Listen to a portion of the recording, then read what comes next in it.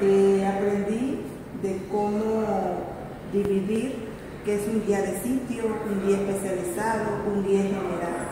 ¿Cuáles son nuestros trabajos? Un guía general, un guía turístico. Un guía general, el guía de sitio y el guía especializado. Cada uno tiene un trabajo diferente de cómo, cuáles son nuestras obligaciones desde el momento que nos consideramos un guía hasta, hasta terminar. O sea, que nosotros no podemos abandonar a un turista en ningún momento. Nosotros tenemos que permanecer con tiempo. Nuestra forma de ser con ellos es la que nos va a llevar a que el turista vuelva nuevamente al sitio, la manera como lo tratamos, la manera que él se sienta parte de nuestra, de nuestra cultura, más bien de la comunidad.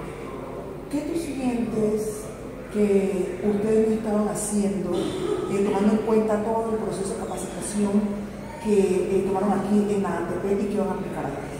¿Qué no estaban cumpliendo? Primero que todo, eh, a nivel de la comarca, todos se consideran guías. ¿Todos se consideran? Se consideran guías. Y no todo es guía. Lo primero hay que reubicar cada uno en su punto.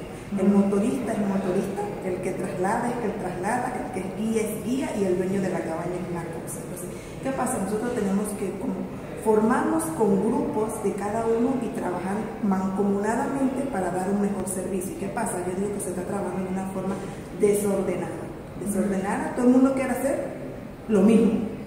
Y es lo que tenemos, entonces tenemos que unirnos como pueblo para dar un mejor servicio.